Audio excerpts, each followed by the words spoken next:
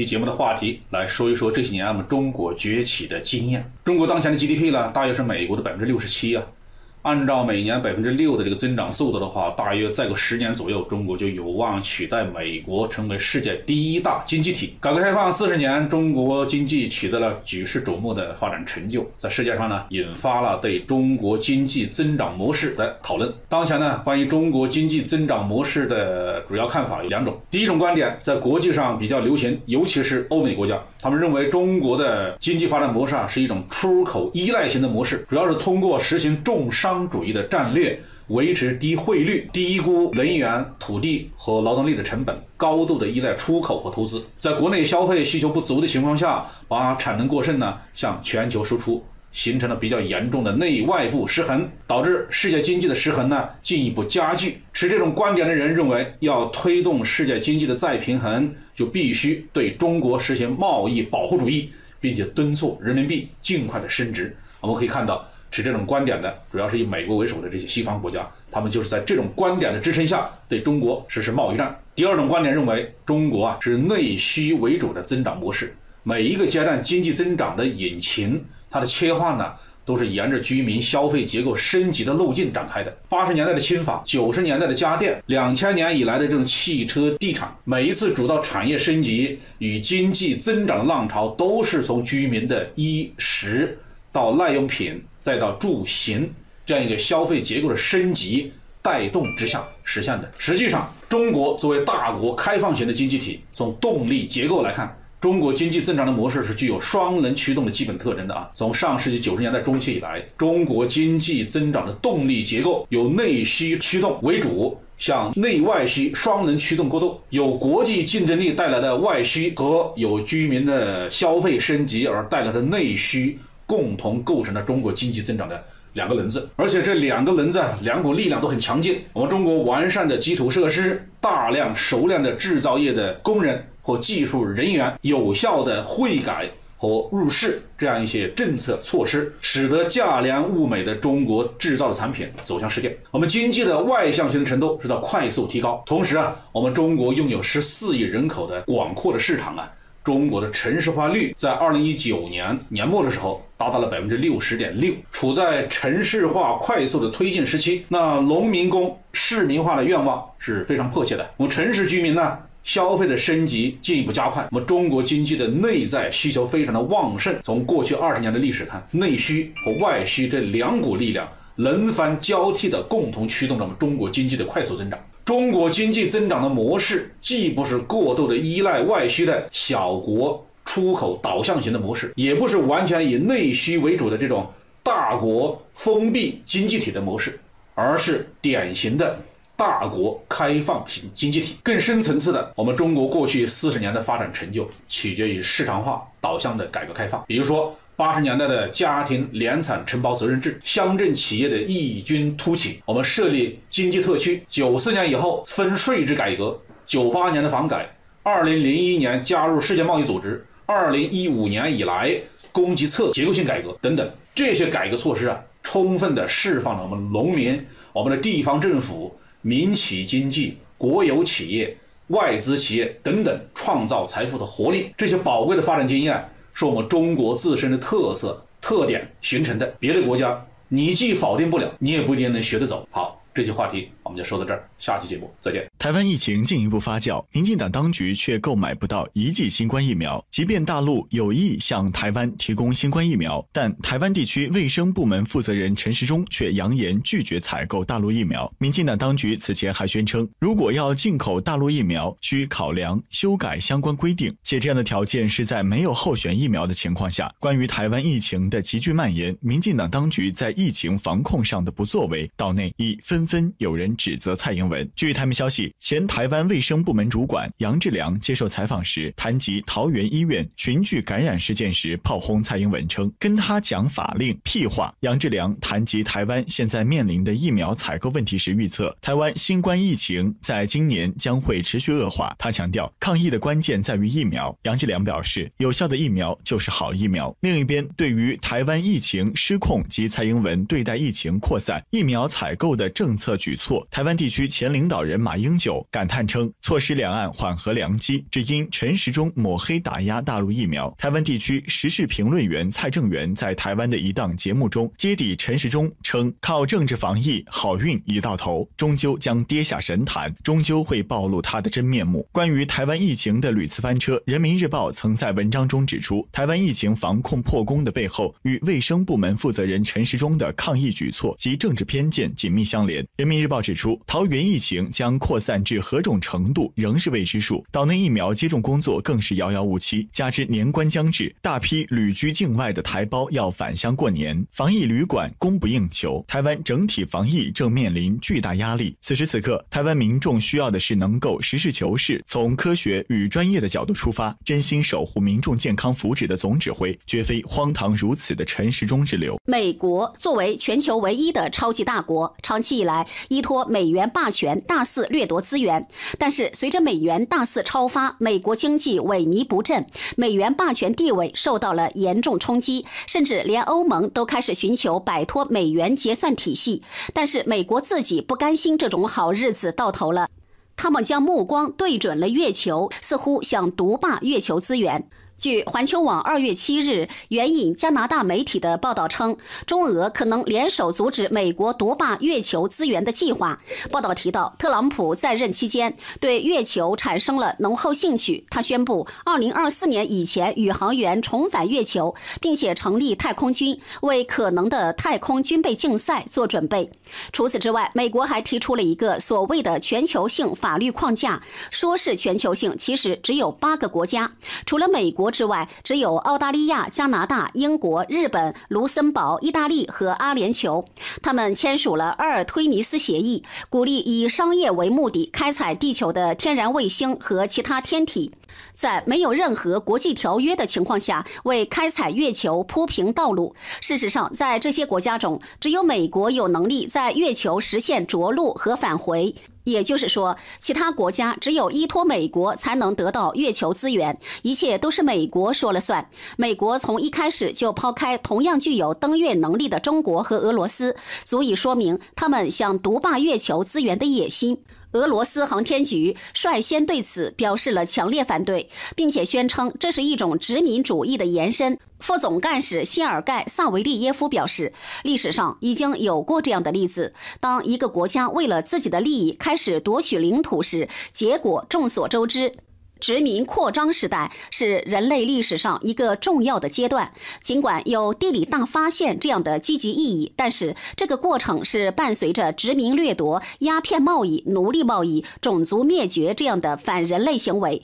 绝非文明时代的作为。现在，美国似乎又想把殖民主义融入到太空时代，而且还是抛下其他国家单干，这自然不能答应。中国对此也有旗帜鲜明的立场。外交部发言人赵立坚曾在记者会上表示，中国支持在现有外空规则框架内，在联合国平台讨论空间资源开发法律制度，确保相关活动符合1967年外空条约。中国愿意与各方开展国际交流与合作，为人类和平利用外空做出更大贡献。中国的态度其实很明确：月球和太空不是谁家的后花园，也不存在先来先占的原始丛林法则。开发月球和太空必须是最广泛的国际参与，应该在联合国框架下进行讨论，而不是谁自作主张二一添作五，随笔一画就确定地盘的事情。而中国作为和平共同开发太空资源的表率，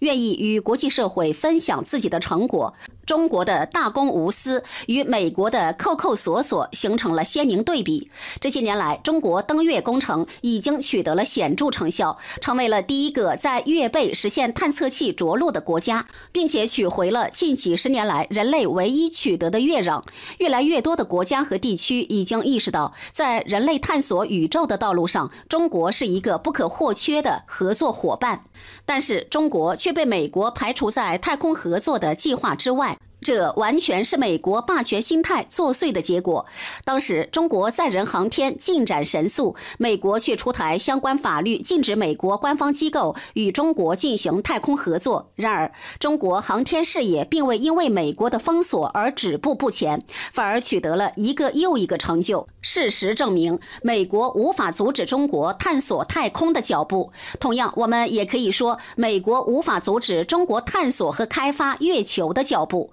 俄罗斯同样也是，尽管苏联解体后，俄罗斯技术发展陷入了停滞，但苏联遗产依旧足够俄罗斯吃一阵子。尤其是现在，美国在一些运载火箭方面还依赖俄罗斯的航天发动机。如果俄罗斯与中国一起展开反制，美国独霸天空的图谋，毫无疑问是不可能实现的。二月五日，中国外交部发言人汪文斌主持召开例行记者会，汪文斌就 BBC 播出的涉及。及疫情的虚假新闻进行回应。据央视新闻二月六日报道，汪文斌提出了两个问题。第一个问题是，BBC 世界新闻频道一月二十六日播出的涉新冠疫情新闻视频中，将疫情与政治挂钩，移花接木，将一段反恐演习视频作为中国防疫部门暴力执法、侵犯人权事实新闻播出，这难道是准确报道吗？汪文斌指出的事件是一场疫情期间的反恐演练，BBC 在报道过程中移花接木，不尊重事件的。真实性和客观性。报道称，中国防疫部门暴力执法、侵犯人权。但 BBC 在报道英国警察执法时，既采访了捍卫游行者权利的人权组织，又给支持警察的英国内政部长说话的篇幅，同时还用了些笔墨，站在警察立场上去描写现场。相当中立。汪文斌提出的第二个问题是，世卫组织专家正在就病毒的溯源问题与中方合作开展调研。同时，疫情更早多点爆发的新闻多次见诸各国媒体报端。BBC 在报道中仍坚称武汉市疫情发源地，这是公正报道吗？BBC 带有偏见性的报道不令人感到意外，而更加过分的是，我们发现外交部发言人华春莹的一句话直接被恶意解读为中国试图祸水外引。值得注意的是，新冠肺炎疫情在武汉爆发之初，中国本着公开透明的态度，第一时间向全球分享病毒基因序列，向各国及时提供医疗物资支援。派遣医学专家驰援国外，并邀请世卫专家赴华对疫情溯源问题展开研讨交流。中国有效遏制国内疫情传播的同时，也为全球抗疫做出积极贡献。新冠疫苗投产使用后，中国政府始终把新冠疫苗的安全性和有效性放在第一位。中国疫苗研发企业始终严格依据科学规律和监管要求，依法合规推进疫苗研发，并积极开展国际合作。目前也已经有阿联酋、巴林、埃及、巴西等。多个国家批准使用中国的疫苗，这些都充分验证了中国疫苗的安全性和有效性。大家好，我是环球报姐的撰稿人多多姐，依旧和你一起关注环球风云。二零二一年，国际社会呢依然是风起云涌，好戏不断。由于纳瓦利内事件的持续发酵，美国、欧洲、俄罗斯最近啊又发生了动荡。最近呢，俄罗斯驱逐了三名来自德国、瑞典和波兰的外交官，这原因是因为他们参加了之前发生在莫斯科的非法集会。这如此一来啊，俄罗斯和欧洲之间可能又要掐架了，关系也要降温了。那对于美国来说，这自然是乐此不疲的。但关键时刻，这默克尔的一番。表态或许就要让拜登失望了。当地时间五号，默克尔在与马克龙举行完视频会晤之后表示，由于俄罗斯和德国双方在纳瓦利内事件上的看法是不同的，德国将延长对一些俄罗斯官员的制裁，但不会将这件事儿与北溪二项目挂钩。默克尔还强调，俄罗斯和德国对话不应该被中断，与俄罗斯保持对话在诸多地缘政治问题与战略发展上是非常必要的。马克龙也指出，北溪二项目对欧洲能源战略有着重要的意义。希望法国和德国两个国家对此达成高度的一致。什么意思呢？我们来简单总结一下。第一呢，纳瓦利内事件呢是事已至此，德国呢也只能被迫做出对等的回应。第二，德国不希望因为纳瓦利内的事件中断与俄方的对话，更不愿意去影响到北溪二项目。第三呢，欧洲不会因为纳瓦利内事件与俄方决裂，所以啊，这默克尔此番的表态，实际上也是在给普京示好，同时呢，给俄罗斯一颗。定新闻。那老规矩，我们来谈几点粗浅的看法。第一呢，在后默克尔时代，默克尔对德国政坛的掌控力度确实是有所下降的啊。要注意，这默克尔已经言明，他要在今年卸任。而在纳瓦利内事件上，向俄罗斯方面施压的德国官员呢，其实大多数都是亲美派人士。因此，在德国政客们的裹挟之下呢，默克尔确实是有点身不由己。但默克尔非常清楚，在尚不得知拜登政府是否为第二个特朗普政府之前，德国是不会和俄罗斯闹翻的。所以，这德国表明对北溪二项目的态度，实际上也是为了让普京放心。这第二呀，美国或许又要失望了。毕竟呢，不论是默克尔的态度转变，还是马克龙的呼吁，都是在预示着欧洲不会因为纳瓦利内事件与俄罗斯彻底闹翻。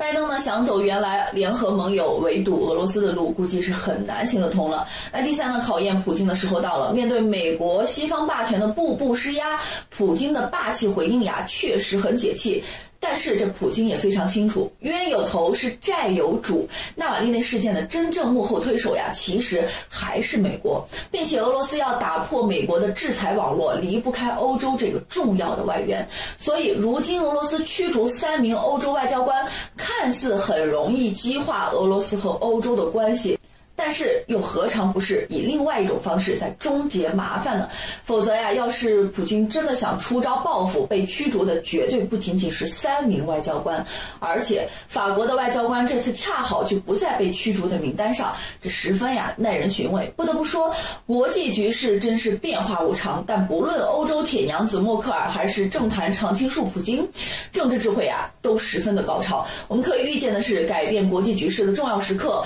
或许啊正在。到来。好的，本期评论到此结束，感谢各位的收看。如果您还想了解的环球正经，同时喜欢我们内容的话，欢迎点赞、评论、转发。我们下期再见。欢迎走进慧观世界，我是慧哥。我们都知道有一句话叫做“铁打的营盘流水的兵”。那在二零二一年呢，有一位政坛老兵即将要退去戎装了，他就是现年六十六岁的德国总理默克尔。